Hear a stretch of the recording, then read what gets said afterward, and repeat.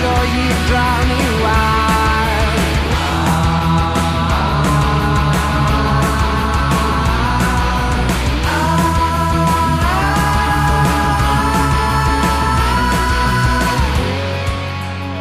Nils Ola er klassestyrer i 10A. Han underviser i matte, engelsk og samfunnsfag. Tine, hør da, Forklar. Hva er avdrag for noe? Det er ikke så lett da jeg kommer jo akkurat inn. Avdrag, det er det du betaler tilbake når du har lånt den eller noe sånt. Det er hvor mye det minsker på Riktig. hver gang. Hva tror du et avdragsfritt lån er for noe? Erik? Eh, et lån hvor man trenger å slippe av, hvor man slipper å ta avdrag. Man slipper å betale avdrag. Hvordan, eh, hvordan kan det lønne seg for banken? Eh, det gjør ikke. Jeg vet ikke det. Det gjør, det gjør ikke det. Lønner seg ikke. Bankene gjør det bare for å være snille. Nils Ola blir sjelden opphisset. Selv ikke når Tine skriver lapper i mattetimen. Gammel lapp. Nei, det er sendt nå. Det er ikke noe.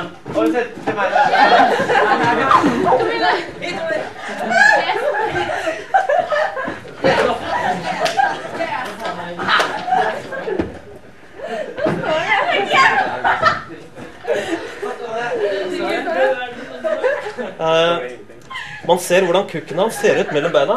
En klump. Æsj. Nei, ikke den. Nei, men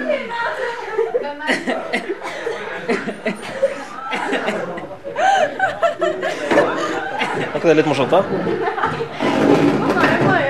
Nei.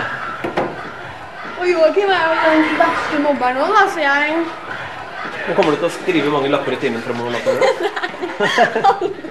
Det var ikke jeg som skrev det. da. Funka det til hensikten, da? Jeg skal ha andre. Nei, det var fint. Og så sa jeg, så, så sa jeg Men det var så slutt å sende lapper. Ja, ok, nei, vi sender ikke lapper, Så plutselig så var det noen som tok lappen. Så Bjørn som tok lappen. Så pælma de den fremover til Nina, så sendte Nina den til Tina. Så gjorde jeg sånn, så bare kasta Nina, eh, Tina til meg. Så bare resten lappen. Eh, du kan se hvordan kukken hans ligger i buksa. Som en klump. Æsj! Tuller du? Ja, De blånekter på at det er de som har skrevet lappen. da. Men det var, det var litt morsomt. Så jeg tror at det, de lo jo så de skrek. ikke sant? Så nå kommer sikkert Jeg, tror jeg, jeg spurte Tine etterpå Tror du at du kommer til å sende lapper igjen nå med det første. Eh, nei, aldri, aldri. Det er jo ikke rart de får hull i matematikken. så sant? Hvis du holder på med sånn. Spansk er valgfag for halve 10A. Tore er ny lærer på skolen, og noen i klassen gjør alt de kan for å forstyrre undervisningen. Og her objekt. Hva slags lapp er det her? De har skrevet om meg. Det spiller ingen rolle hvem som har skrevet hva. Så tar jeg lappen, og så ligger den her. Sånn. Nei, skal, nei, jeg leser ikke lappen, For det står hilsen Tine her. Ja, ja, ja, det er ikke jeg som har skrevet den, det er de som har skrevet den for meg. Ja vel. Det sønger seg til jumosa. Når Bjørn mister interessen for undervisningen, ser han det som sin oppgave å underholde de andre. Stemning. Men den magic in spesielt, så Nå sitter du der foran. Nå har du fått så mange sjanser. Sett deg foran. Ingen flere sang. Vi vil synge sang på Mozart. Nei! Nå forsøker du å si 'jeg ønsker meg spansk på spansk'. Ok, jo un eh, español eh, libro eller words. Missionario. Nesten som på engelsk. Du, nå, Bjørn, nå går du ut av timen. Rett og slett. Du går Nei, det var ikke jeg som kastet nå. Det var ikke jeg som kastet her. Det var ikke jeg som kastet papirene. Det var ikke jeg som kastet papirene. Det har ingenting med saken å gjøre. Du går ut. Det er jeg ikke. Nei, jeg kan gå ut igjen. Ok, gå ut begge to. Det er greit. Bare se hva Nei, se hva Bjørn har skrevet.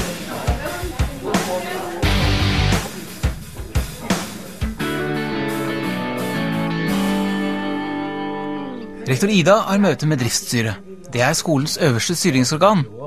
Her handler det om penger, eller som oftest mangel på penger. Styret gjør så godt de kan med fordelingen av midlene de har fått fra kommunen.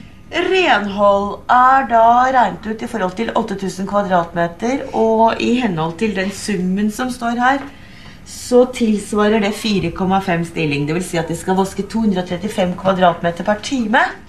Så det er klart at det er tungt å være renholder her.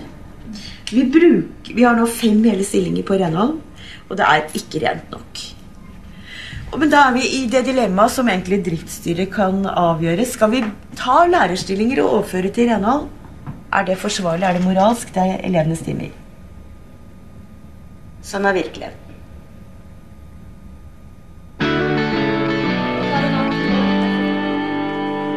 Spansklærer Tore har klaget på oppførselen til Tine og Bjørn, og som klasseforstander må Famke ta affære. Jeg snakker litt om spansk. Timen på fredag. Hvorfor det? Hva? Hallo, det er dårlig gjort, ass. Hvorfor det?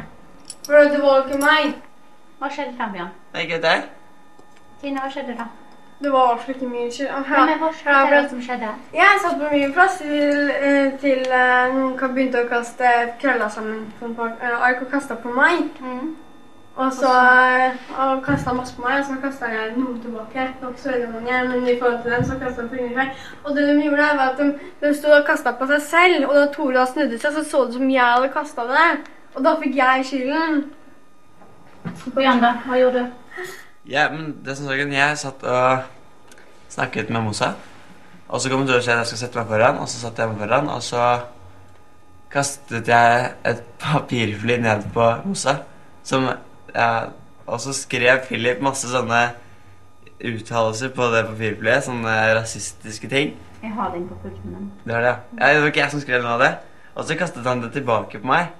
Og så, siden jeg fikk eh, Siden det papirflyet sto masse ting på det, så ble jeg sendt ut. Hva syns du om din egen oppførsel i spansktimen sånn generelt? Nei, jeg, men jeg vil ikke si at det er dårlig oppførsel. Jeg bare følger ikke med. Uroer du? Hæ? Uroer du? Nei? Forstyrrer du? Nei?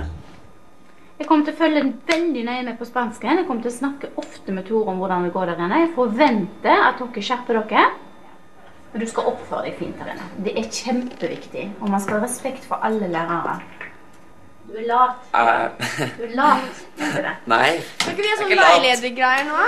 Jeg er mye mer aktiv enn deg. Nei. Ja. Lat. Skolen er skitten. Vi klarer ikke å holde den ren. Hva skal vi gjøre? Vi har Rektor Ida tar opp det manglende renholdet. Det er ikke lett å vaske skolen når det er lite penger, og det er folk i bygningen nærmest døgnet rundt. eller ikke vaskes, så har vi gått gjennom det med gratisutleie, fordi vi har en gratisutleie som beløper seg til 287 timer i uken. Oslo kommune har pålagt skolen å leie ut gratis til bl.a. idrettslag og musikkundervisning. Og så ser jeg at denne belastningen på skolen gjør at skolen er i bruk fra tidlig om morgenen til klokken ti om kvelden.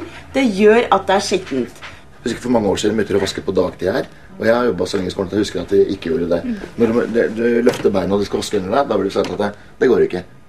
Vi kan ikke ha det sånn. Men vi godtok den, og så har vi godtatt den og den og den. Og den. Og derfor eh, vasser vi dritt. Ja, men Virkeligheten er faktisk sånn at vi har kommunale renholdsarbeidere som skal ha daglig renhold. De skal, de skal ha arbeidstid på dagen. Og det er ikke mulig å vaske alle klasserommene etter at de har vært brukt til ti om kvelden. Og morgenen før skolen begynner klokken åtte. Lista over unnskyldninger og, og sånn er, eh, er reell nok. Men det er helt hårreisende, egentlig. Er kryss i taket. Rottebestanden er borte. I fjor så pilte det rotter mellom beina på elevene når de satt ute i skolegården. og det...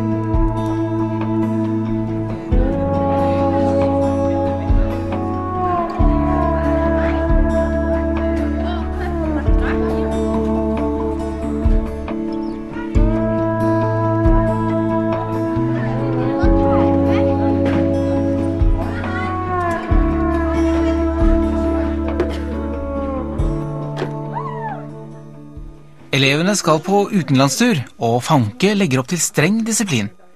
Det er ikke lov til å nyte og eller kjøpe alkohol på turen. Det er ikke lov til å røyke på turen. Bjørn og Nina synes reglene er i strengeste laget. Og for Erik er det særlig én regel som er vanskelig å følge. Dere skal gå en del alene. I Krakow og Berlin gå alltid minst to stykker sammen. Etter klokka 11 skal alle være inne på egne rom hvis du bryter en alvorlig regel, så blir du sendt hjem på dine foreldres regning. Ja, men dere har jo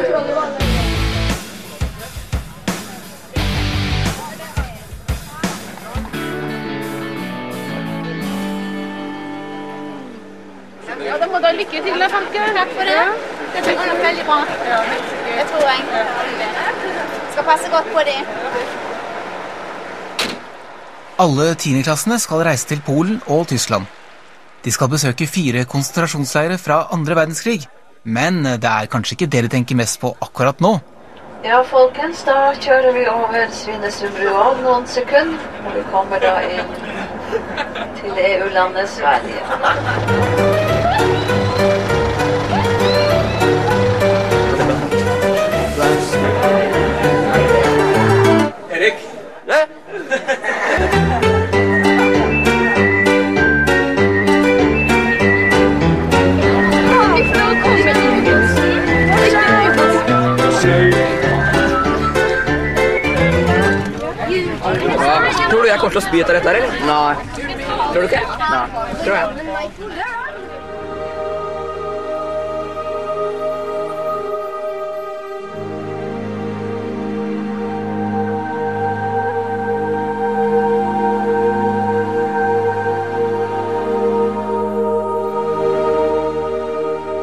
Lange dager, innestengt i bussen, slippes energien endelig løs på hotellet i Krakow.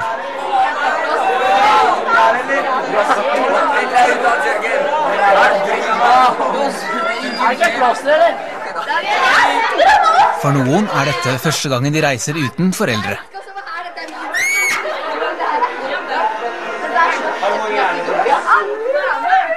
Det er MTV her! Nei! Nå blir vi hilst. Å, det er tre TV-kanaler på rommet! Og isbitmaskin i gangen! Avtalen er at eh, alle skal være stille og inne på egne rom når klokken er 11. Ja, må bare være stille hvis det blir lager. Klokken er over 11. Tine og Maja er ennå ikke på rommet sitt. To av lærerne sjekker gutterommene. Hallo. På do. Hei, hallo på do. Hallo, på do. Er det noen damer på do? Hallo. Hallo. På do.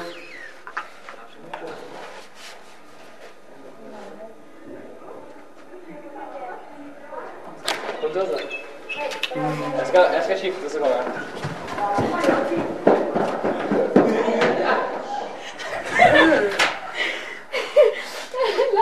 Se på da. Tine og Maja risikerer nedsatt oppførselskarakter for å ha brutt reglene. Kan jeg ikke fortelle litt om det? Vi har ikke Hvor har vært inne? Vi har ikke vært noen steder, vi. Og læreren fikk mistanke.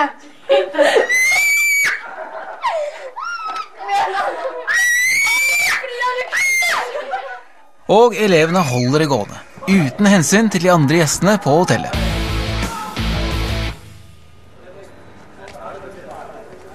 Det er nesten alltid veldig hyggelig å være lærer på Majorstua skole. I dag er det ikke hyggelig. Er det noen som kan tenke seg hvorfor det ikke er så veldig hyggelig å være lærer i dag? Ja, Bjørn? Fordi det var noen som bråkte og eh, herjet på gangen min i natt. Ja. Noen som har lyst til å fortelle hva som skjedde? Ok, da kan jeg fortelle det. Det som skjedde, det var at eh, jeg lå på mitt rom og hørte at det var heftig aktivitet ute på en del balkonger. Jeg sto til slutt opp og gikk ut i gangen, og da kom resepsjonisten opp og var helt fortvila. Fordi da var det en gjest på hotellet som hadde klaga. Han hadde fått diverse matrester og vann inn på sin balkong. Og han nekter å betale for sitt rom. Eh, og dette er selvfølgelig forferdelig pinlig for hotellet. Og veldig pinlig for oss lærere, for det er vi som må i stor grad bære skylden for dere. Det ble òg kasta en stol fra en balkong i går. Vi kommer heller ikke til å reise til eh, Krakow før vi får vite hvem som kasta den stolen. Vi skriver ned navnene på de som har gjort det. Hvem kasta en stol i går kveld? Nei. Skal vi bare stå her i dag, da? Da må vi bare utsette reisen litt. Da forteller jeg nå hva som skjer med de som da var involvert i den eh, kastingen. Dere blir satt ned i oppførselskarakter. Dere skal ringe hjem i dag. Vi lærerne kommer til å stå ved siden av og høre på. og Dere skal fortelle hva dere har gjort til foreldrene deres. Så anbefaler vi dere at dere tar en liten tur inn i Mariakirken og mediterer litt og tenker over hva dere har gjort. Klassen blir tatt til side av Fanke. Elevene får ikke dra på handeltur før den skyldige er funnet. Skjønner at dette er tøft. Hvis noen her har kasta en stol, så er ikke det lett å si det til så mange som når så mange hører på. Men sånn er vi nødt til å gjøre dette nå, for å spare litt tid. Er det noen som har lyst til å fortelle noe? Som enten har sett noen kaste, som har hørt noe, eller som har gjort det sjøl? Da spør jeg en og en. Jeg skal gjøre det nå mens, hører, mens alle hører på, for dette må dere bare lære dere til. Britt, har du sett noe? Hørt noe? Gjort det selv? Bjørn? Joakim? Camilla? Nina? Hva sa du? Erik? Ikke sett noe, ikke hørt noe? Dere bor jo nede. Jeg har ikke gjort det. Nei, men jeg spør dere kan ha sett noe? Hørt noe? Da kan dere gå på bussen. A-klassen kan gå på bussen. Ingen av elevene innrømmer å ha kastet stolen. Og så blir det handletur allikevel. Jeg har bare lyst til å anbefale kanskje at når dere nå går til markedsplassen, at de ikke stopper å begynne å handle hos gateselgere og overalt i dag. For dere får jo også sjansen i morgen. Fristelsene er mange, og for Erik brenner pengene i lommen. Respekt, mann. This is my pumpkin. I own all these guns. I'm a giant chikurless dolly. Swan, swan, swan, swan, هیچ کمسته پاوز قوارانک خیلی خیلی خیلی هفسا کولی امی یلتی گوره لسه داوی زبان زبان زبان هیچ کمسته پاوز عشان كده تاني جوش الناس خمس دعونا أكون نعم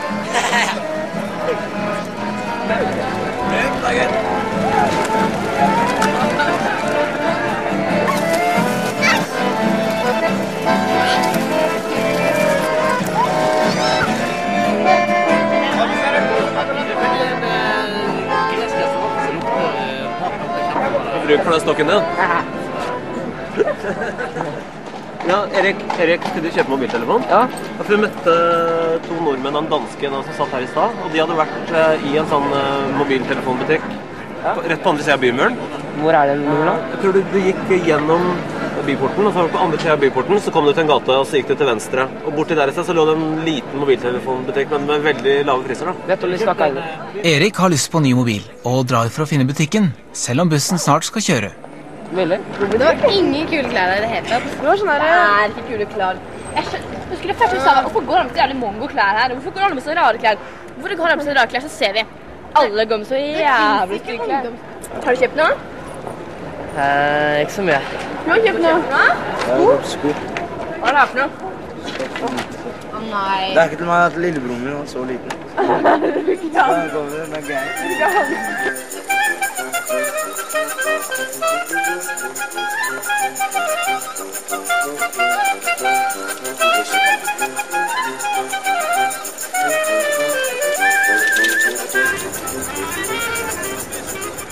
Når bussene skal dra, oppdager de at én av elevene mangler.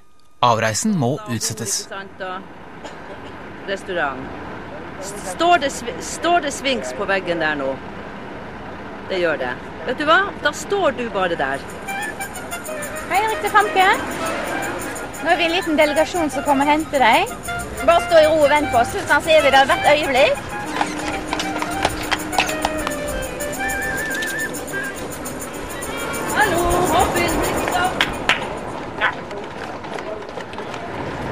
Artig kar, du. Ja. Legger i min, legger i med natur. Jeg kommer fra, jeg kommer fra en tullete familie. Ja. Det er ikke noe smart. Nettopp henta meg bare for å drepe meg. Nils Ola tar alltid godt vare på Erik, selv om han av og til er litt vanskelig å holde styr på.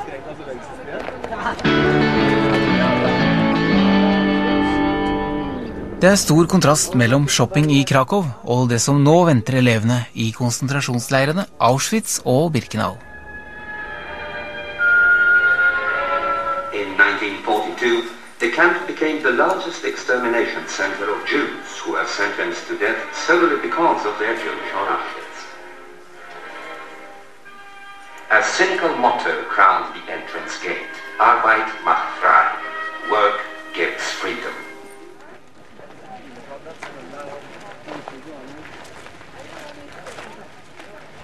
Prøvde å klatre over mens de fikk skrøm. mens de fikk Ja, men de skrur av strømmen.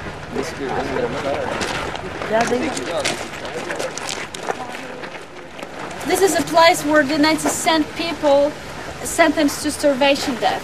But who was punished with a starvation death? Usually, when someone escaped from Auschwitz, only one person. The Nazis selected 10 prisoners from the concentration camp to the starvation death. So it was September 1941. The extermination process began. It's only a few months later, actually two months later, uh, the final decision concerning the Jewish question was already made during the Wannsee conference. Bare i Auschwitz og Birkenau ble nærmere 1,5 million mennesker gasset i hjel i løpet av krigen. Nazistenes ugjerninger blir umulig å fatte for Nina og de andre jentene i klassen.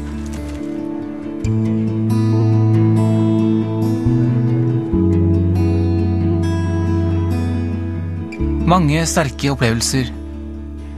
Mange ubesvarte spørsmål. Jeg skjønner ikke hvordan de hadde samvittighet til å gjøre noe sånt. Nei, det er det som er hele spørsmålet. på en måte. Hvordan, hva er det som får så mange mennesker til å gjennomføre så mange onde handlinger? Og mange sa jo etterpå at nei, jeg bare gjorde det som jeg fikk beskjed om, og jeg fulgte bare ordre og sånn. Men det er ikke noe, det er ikke noe god unnskyldning. Noen ganger må man tenke seg langt.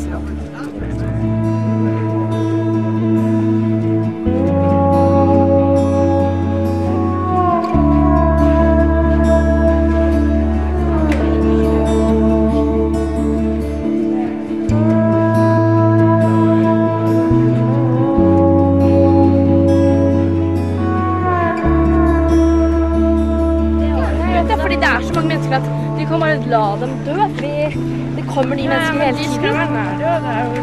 Nei, de er jo nesten ikke nær det. De skal jo dø uansett. Ja, men de tar jo Det er nødt. De bryr seg ikke om det. Det er det som gjør det så ille. De oppfører seg som bare skulle vært dyr.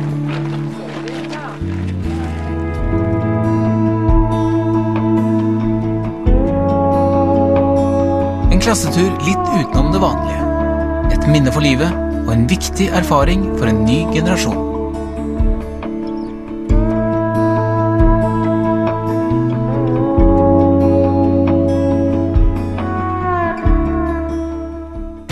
Er det ikke funker sånn. Jentene i klasse 10A er ikke alltid verdens beste venner. Det er alltid baksnakking. Det, altså, det kan du si helt, det kan jeg si helt ærlig. Det forekommer alltid baksnakking. Da tror hun at du var sur på henne? Ja, nå tror hun at jeg var sur på henne. Og det er jeg jo ikke. Det er jo ikke henne jeg er sur på i det hele tatt. Jeg tror ikke det er noen som Jeg føler ikke at det er noen som ikke har noen i klassen. Nei, så ingen som er bevisst fryst ut? Eller Nei, noe det føler jeg absolutt ikke. Nei. Nils Ola og Famke prøver å løse de sosiale problemene. Hold kjeft selv. Eller du hermer. Jeg vet. Kan ikke folk være litt hyggelige mot hverandre? Fred og kjærlighet.